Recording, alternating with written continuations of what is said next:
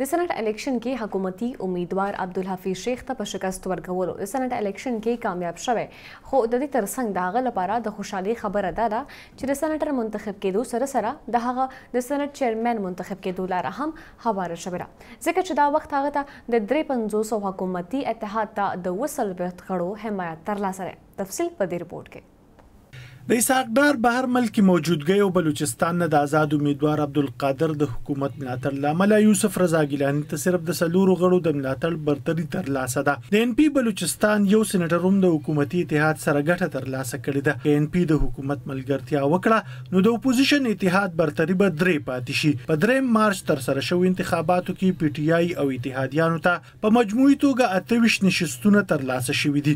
اپوزیشن اتحاد پي ډي ایم ته په مجموعي توګه شل چوکۍ ترلاسه شوي دي. د نتیجو تر مخه د پاکستان تحریک انصاف په موجوده سېنېټ کې څوارلس چوکۍ وې چې پکې د دوی یوولس سېنېټران په یولسم مارچ ریټایر کېدونکي دي خو ورته اتلس نوې چوکۍ ترلاسه شوي دي چې دا شان په سېنېټ کې د دوی د مجموعي غړو شمېره پنځه ویشتو ته رسېدلې ده. د پیپلز پارټۍ یوویشت سېنېټرانو چې پکې اته ریټایر شوي، اته بیا منتخب شوي چې دا شان یې د ټولو غړو شمېره یوویشتو ته رسېدلې ده. د نون لیګ د سېنېټرانو شمېره یو کم دېرش وه، اوولس سېنېټران یې ریټایر شوي، پنځه نوي منتخب شوي چې دا شان یې د غړو شمېره اتلس ده او د سېنېټ درېیم لوی جومات جوړ شوی دی. بلوچستان عوامي پارټۍ د سېنېټ څلورم لوی جومات جوړ شوی دی. د دوی د ټولو سېنېټرانو شمېره لس وه. درې ریټایر شوي او اته نوو سېنېټرانو سره یې د غړو مجموعي شمېره پنځلسو ته رسېدلې ده. د جمعیت علمای اسلام د ټولو سېنېټرانو شمېره څلور وه. چې پکې دوه ریټایر شوي درې نوي سینیټرانو سره یې مجموعي شمېره پنځو ته رسېدلې ده. د متحده قوم مومن د غړو شمېره دوه ده، د بلوچستان نېشنل پارټۍ مېنګل درې،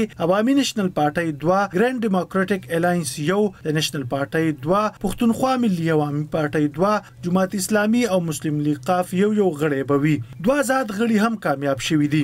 چیرمین سینیټ او ډپټي چیرمین سینیټ به د حکومت جوړیږي او که د اپوزیشن؟ په ظاهره عددي اکثریت کې خو د اپوزیشن تله درنه ده خو د ANP بلوچستان حکومتي اتحادي کیدو او یو ازاد امیدوار ګټلو سره اپوزیشن ته برتري د درې ووټونو پاتې کیږي. دا الیکشن چونکه خفیه کیدونکی دی نو ځکه د ګټې انحصار په ظاهري عددي اکثریت نه بلکه خفیه ووټنګ وي.